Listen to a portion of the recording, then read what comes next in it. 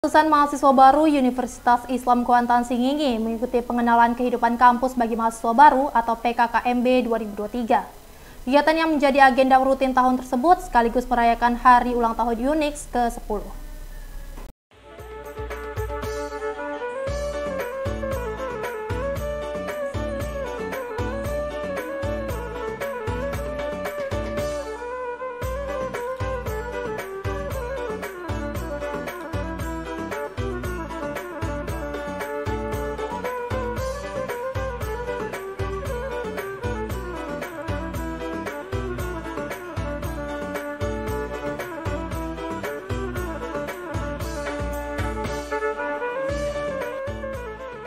Sebanyak 420 mahasiswa baru kampus Universitas Islam Kuantan Singingi mengikuti pengenalan kehidupan kampus bagi mahasiswa baru atau PKKMB 2023. Kegiatan ini dihadiri Rektor Universitas Islam Kuantan Singingi, No Priyadi, Penasehat YPTKIS Suwardi, serta Asisten 1 Sekda Kapuansing Fahdiansyah. Menurut Rektor Universitas Islam Kuantan Singingi, No Priyadi, Kegiatan PKKMB merupakan program yang wajib diikuti oleh seluruh mahasiswa-mahasiswi baru di perguruan tinggi baik perguruan tinggi negeri maupun swasta untuk memperkenalkan lingkungan kampus. Penyelenggaran PKKMB bertujuan mempersiapkan para mahasiswa baru berproses menjadi mahasiswa yang dewasa dan mandiri.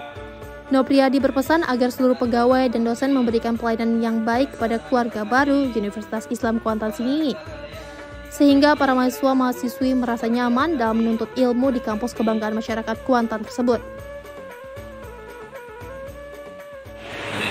Alhamdulillah kegiatan PKKMB kita pada tahun 2023-2024 ini berjalan lancar.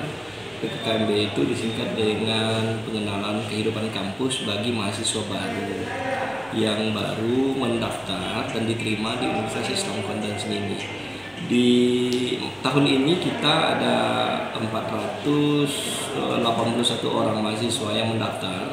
Tapi yang baru daftar ulang ke kita hingga hari ini 420 orang ya eh, yang mendaftar ulang dan yang ikut sebagai peserta PKKMB tahun ini. Kemudian Uh, hari ini kebetulan adalah hari miladnya Unix ya yang ke-10 tepatnya tanggal 13 September 2023. Unix ini berdiri pada tanggal 13 September tahun 2013 lalu, ke 10 tahun yang lalu. Uh, Unix gabungan dari tiga sekolah tinggi sebelumnya, sekolah tinggi uh, teknik, kemudian pertanian dan STAI, sekolah tinggi ilmu agama Islam yang merger dilebur menjadi satu akhirnya menjadi Universitas Islam Kuantan ini. Saat ini kita terdiri dari empat uh, fakultas yaitu Fakultas Tarbiyah dan Keguruan, kemudian Fakultas Ilmu Sosial dan Fakultas Pertanian serta Fakultas Teknik. Ada 12 program studi yang ada di Universitas Islam Kuantan ini. Di Fakultas uh, Tarbiyah itu ada program studi pendidikan agama Islam. Nah, ini sudah terakreditasi baik sekali kemudian jumlah mahasiswa cukup banyak di situ. Kemudian ada pendidikan kimia. Pendidikan kimia terakreditasi baik. Selanjutnya pada program eh, pada fakultas ilmu sosial itu eh, ada program studi ilmu hukum akreditasi B.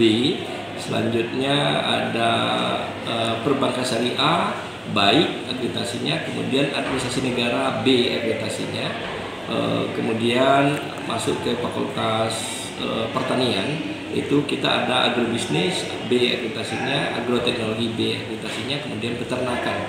Nah, ya juga B akreditasinya. Selanjutnya kita uh, juga ada di fakultas teknik itu ada teknik informatika. Ini juga banyak mahasiswanya.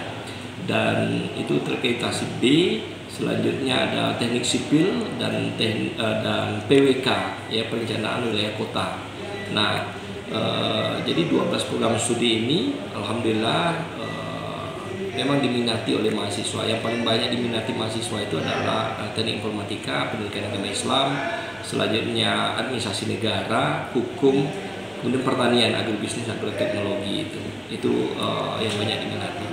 Ke depan kita berencana untuk membuka program studi yang memang dibutuhkan oleh pangsa pasar, ya baik di Kabupaten Kuantan ini dan di Riau ataupun Indonesia pada umumnya. Seorang di antaranya program studi bisnis digital. Bisnis digital karena uh, ini adalah prodi kekinian ya sampai diperkirakan sampai tahun 2040 nanti bisnis digital akan digemari diminati oleh masyarakat dan sebetulnya juga uh, sangat potensial ketika kita membuka prodi yang berhubungan dengan hilirisasi dari pabrik sawit ya atau dari dari produksi sawit kita atau perkebunan karet kita ya sehingga uh, program studi ini betul-betul uh, bermanfaat bagi uh, lulusan itu nanti karena kita kaya akan sawit di Kuantan sini dan juga karet ya hasil dari apa dari alam ya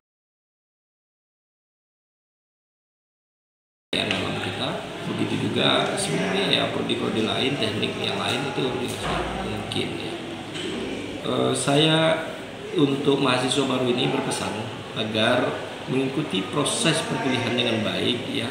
Kemudian menjadi aktivis di kampus dan e, bisa berinteraksi dengan teman se, sesamanya dengan seniornya dengan dosennya dengan tenaga kependidikan atau e, semua masyarakat di lingkungan kampus ya. mengenal satu sama lain kemudian diharapkan menggali potensi dirinya sehingga berprestasi lebih gemilang dan terbilang.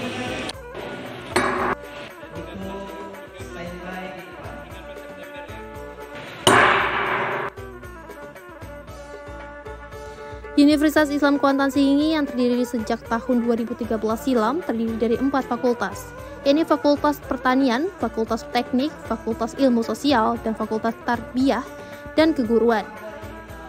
Adapun jumlah program studi sebanyak 12 prodi dengan akreditasi B. Dari Kabupaten Kuansing, Ivo Lidra, TV melaporkan.